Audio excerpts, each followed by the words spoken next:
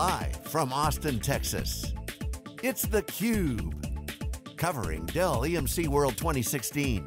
Brought to you by Dell EMC. Now, here are your hosts, Dave Vellante and Stu Miniman. Welcome back to Dell World, Dell EMC World. Fourth time I've done that today, Stu. Uh, 2016, we're here in Austin, Texas. This is theCUBE, the worldwide leader in live tech coverage. Scott Winslow is here, he's the president and founder of Winslow Partners, CUBE alum. Scott, good to see you again. Glad to be here. So what a difference a year makes. Yeah. we were talking about this last year. That's right. But uh, now we're actually living it. I, I remember last year uh, vividly, we met and spoke and the, uh, the intention to do the acquisition had just been announced and yeah, here we are a year later and uh, it's, it's happened. So what's happened in the channel? Um, you know, give us the update. A lot of people are concerned. You know, anytime you have a big merger like this, you got two companies, you know, very well known for direct sales. Uh, although the industry has become much more channel friendly. Is it true from your perspective? Yeah, um, we're, we're excited about what's uh, happening. I mean, I think if I look at our company and maybe go back five years ago, we were a Compellent partner and Dell acquired Compellent in Q1 of 2011. Uh, and it was kind of an uh-oh moment, like, boy, this could be problematic. And it really turned out to be an inflection point for the growth of our company. Uh, when Dell acquired Compellent, we were doing $7 million a year in top line sales. You know, four years later, four and a half years later, you know, now we'll do $25 million a year in top line sales. So I look at that um, acquisition that happened and uh, the opportunity that it presented for us to have a broader portfolio and, uh, and how we grew the company. So as we look at this opportunity, we're saying, hey, this could be this could be the same thing. Maybe now our target should be 100 million a year, and I don't think we'd have that opportunity without this uh, acquisition taking place. So we think it's exciting. Scott, so has, has, the acquisition changed the product mix that you're selling? Maybe give us kind of last year versus this year, you know, what, what's the same, what's different? Yeah, well, we're still selling the legacy Dell product line, server storage, networking, uh, hyper-converged products. Uh, so for us, the big revenue producers are Compellent, Dell Nutanix, FX2s, VRTX R900s, R700 servers. Uh, in the last 90 days, we've become an EMC partner. So we uh, signed up, got on board, and uh, you know, within 90 days, we've closed a VCE, a VxRail, a data domain, and a Unity solution. So I guess what's changed in our mix is it's broader, and while we're still learning it, we've got the EMC uh, portfolio in our bag now. Okay, so you, have been a partner on the, the Dell Nutanix, the XC yes. line, and you've also sold VxRail. Yeah. And one of the things everybody's kind of looking at and you know, trying to say, okay, you know, Michael has said Nutanix is an important partner. Yeah. Uh, we even saw Chad Sakac, who runs the EMC Converged Platform division, uh, saying, you know, yes, of course it's in the portfolio. He kind of paints it in a corner as to, you know, where it should be positioned what do you see, how do you talk to customers, you know, when is it Dell Nutanix, when is it VxRail, what, how do you see that progressing? Yeah, well I think one, we feel fortunate to have all of it, you know, the XC series as well as the blocks, racks, and rails, you know, in our bag. So that's probably for starters. Um, for 18 months, we've been out there developing a nice hyper-converged business with the XC series. So I'm glad, one of the things we love about working with Michael is that he's got an open standards uh, philosophy, so he didn't walk away from that relationship. Uh, they've continued with the XC series. They just introduced the Haswell processor into the XC series, so they're continuing to develop that. They've uh, signed a long-term relationship uh, with Nutanix, and I think Michael has the foresight to see that he's going to need both of those solutions uh, in his portfolio. For us, um, we have customers that are with us here this week at uh, Dell EMC World that have invested in this technology that are very happy about it. Um, we're bullish on the uh, Dell Nutanix technology. We think maybe it scales a little bigger than some people in the industry would uh, give it uh, credit for. We think they've got something really special going on.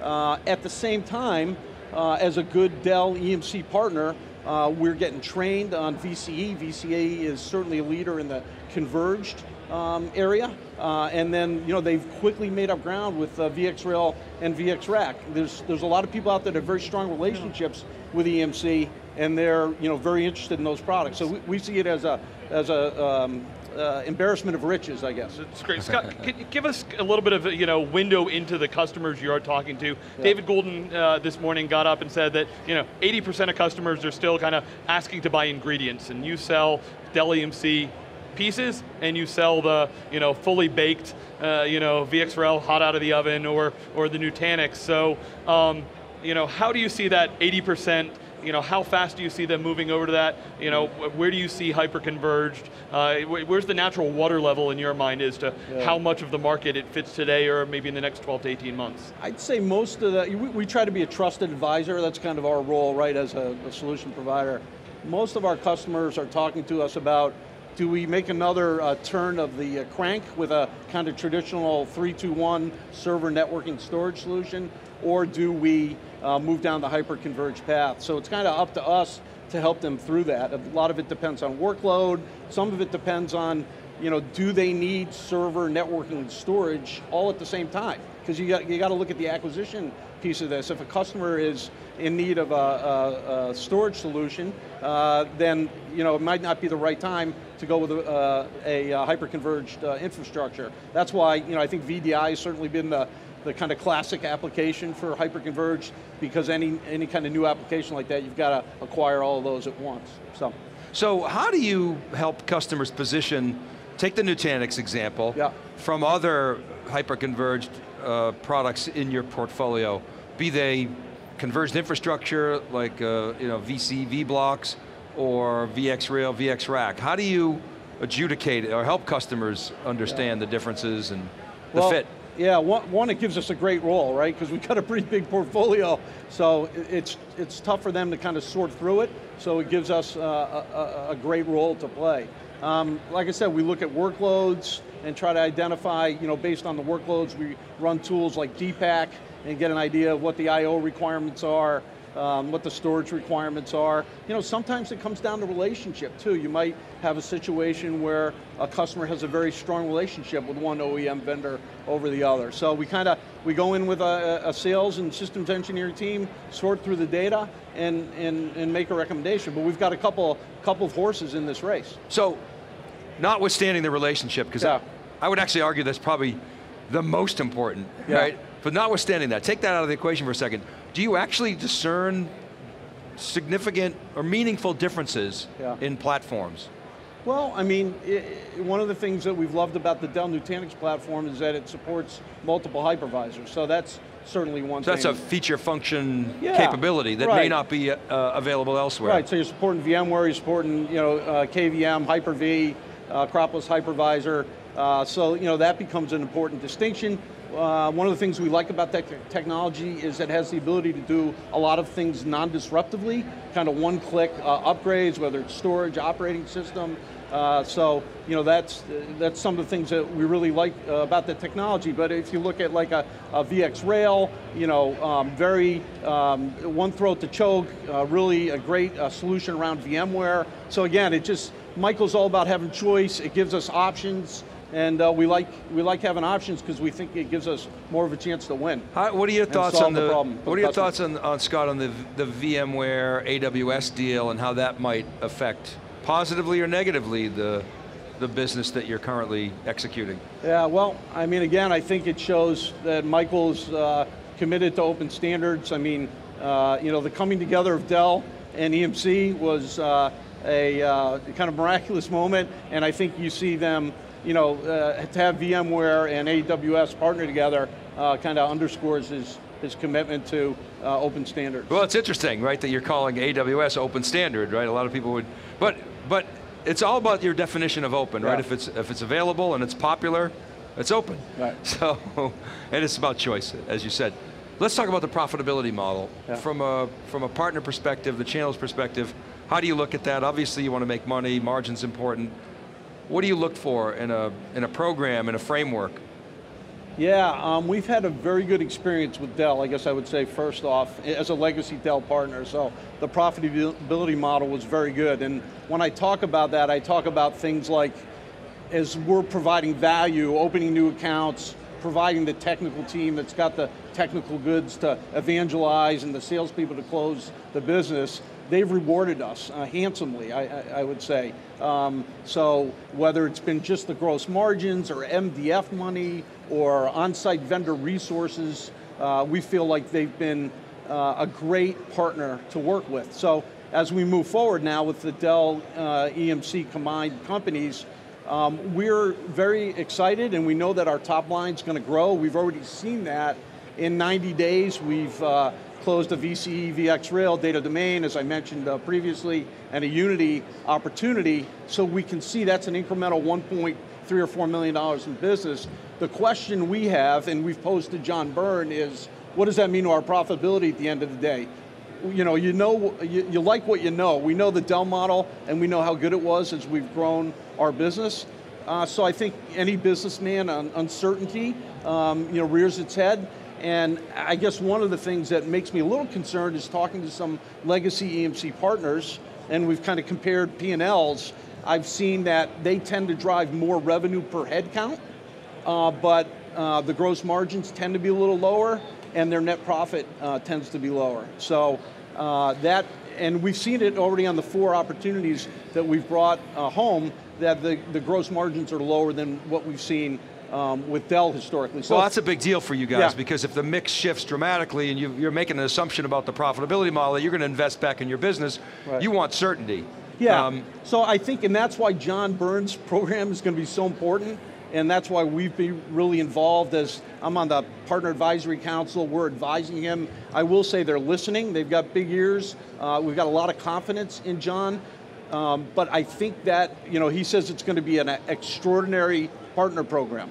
Um, this is the new partner program and the logo. They've introduced that. And he, they're, they're referencing the rest of the industry. What do some of the other large OEM programs look like? And he says at the end of the day, we're going to think it's extraordinary. We have to have a leap of faith here. And I believe that um, if we can deliver the kind of things that the new combined company wants, opening new accounts, being really uh, strong technically, uh, I think that they're going to reward us, and, and we have to, but, to bet on that. But it might mean you have to grow faster to throw off as much cash as you have previously, so then the question would become, uh, presumably to Dell, Dell EMC is, how are you going to help me, you know, support me in that growth? Right. You mentioned MDF and on-site partner resources. Sure. How, how, do you spend the MDF today, and do you see that changing? Yeah, I mean, uh, well, so it's, it's a very rich uh, program. Uh, you know, it's been largely selling uh, Compellent and Dell Nutanix and servers, and uh, so uh, we've we've gotten some pretty significant uh, rebate dollars. Mm-hmm. I mean, as high as you know seven or eight percent, even north of that. So you can imagine, you know, for a company that's doing you know 25 million in top line, that's pretty noteworthy to, to, the bottom line. So. Um, we, you know, we'd like to see that continue under the new program. Uh, I'm guessing it may be moderated uh, somewhat, um, you know, because historically, if I talk to some other EMC resellers, you know, the rebate and the MDF levels, you know, haven't been that, that high. Um, the other thing is with the MDF, we've had to spend money uh, back on the business. So even though we've made uh, good sizable rebates, like we have 36 people here at Dell World this week, 24 customers, uh, and we've got 12 employees and their program encourages you to spend back on the business, we know that those customers are going to come back and continue to invest in Dell EMC. So those are the kind of things we'd like to see to continue. Um, OVR is an on-site vendor resource, so Dell will actually help you as you grow, and if you show you know, loyalty and you, you grow the business in the right ways, they'll help you add resources to your team. And we uh, hope that that kind of um, support will, will continue. So time will tell if the program is Well again, it's critical for you if in yeah. fact the margin model is going to shift. Yeah. You got to do more business, right? Stu, go ahead. Yeah, Scott, one of the questions I think we had a year ago was, you're in the Northeast, you're in you know, legacy EMC's backyard, you know, was that saturated from a channel standpoint? And it sounds like the answer is no. I think the answer is no. We actually think we're in a unique position. Uh, you know, we've got Hopkinton right there. We have the ability to use a lot of their uh, demo facilities. One of the things being a, a, loyal Dell partner, we're able to go to the EMC teams and say, listen, we sell only your servers, storage, networking. We don't have any encumbrances that we're coming in with. Yeah. Some other larger partners that might have an HP relationship, Or, or many of the EMC channel partners are heavy Cisco networking and server uh, partners. Precisely. So Yeah. what a unique position that puts us in to not have any of those, like I said, encumbrances where we can tell them that we're going to sell, we've, we've sold only Dell. Um, we're a small company, we want to be relevant to somebody, we chose Dell, and now we can continue that and have it be Dell EMC. Uh, we think that's a win, and it's gotten a lot of traction with the local uh, Dell EMC sales teams. So what's next for you guys? I know you're trying to sort out the, the uncertainty right now. Yeah. You're making that leap of faith, but uh, Yeah. focusing on the customers, what are, what are they asking you for? Well, I mean, keep plugging away. Um, uh, what, what the customers are asking us for is, you know, infrastructure solutions. Uh, how do they, um, you know, uh, move their businesses forward in a pioneering kind of way? Uh, and we think we've got the, uh, you know, the portfolio to provide that. I think one opportunity here that a lot of people aren't talking about is EMC has never had a compute platform, ever in their history. You know, who are the experts on um, providing compute to end users. Uh, we are, because we've been selling that Dell portfolio for a long time. So we think one benefit we can bring back to the EMC team and to our customers is the ability to help that EMC team sell compute against UCS uh, and against HP. And that's a real uh, unique opportunity. Where, where are you investing uh, in your business? I mean, obviously growing capacity, sales capacity. Yeah. Are you investing in, in, everybody talks about solutions. Are there so-called solutions that you're investing in to, to create new opportunities? Yeah, we've, uh, well, we've been hiring uh, about one person a month for the last 12 months. So we've been adding across engineering, sales, inside teams. Uh, I think the area we've been investing the most is uh, EMC training. Uh, there's just such a broad portfolio there. So, you know, we're in Hopkinton, in Marlborough, in Franklin, uh, getting trained by the EMC teams on, you know, VCE, on VxRail, on Isilon, XtremIO, Data Domain. So they've got a lot of different product groups, and uh, so we've been spending a lot of time with them. Because one of the value adds we provide to Dell today is we go very deep technically, and you know we can't do that today with EMC. Uh, we'd be kidding ourselves. So we have to continue to get trained and to be able to provide you know that kind of value add. That's the only way we're going to be uh, of benefit to them. So that's that's an area we're investing in a lot. Awesome. Well, listen, Scott, thanks for coming back on theCUBE, sharing the insights. You know, very frank conversation. Really appreciate it. You bet. All right, keep Thank right you. there, everybody. Stu and I will be back with our next guest. This is theCUBE. We're live from Dell EMC World 2016. Be right back.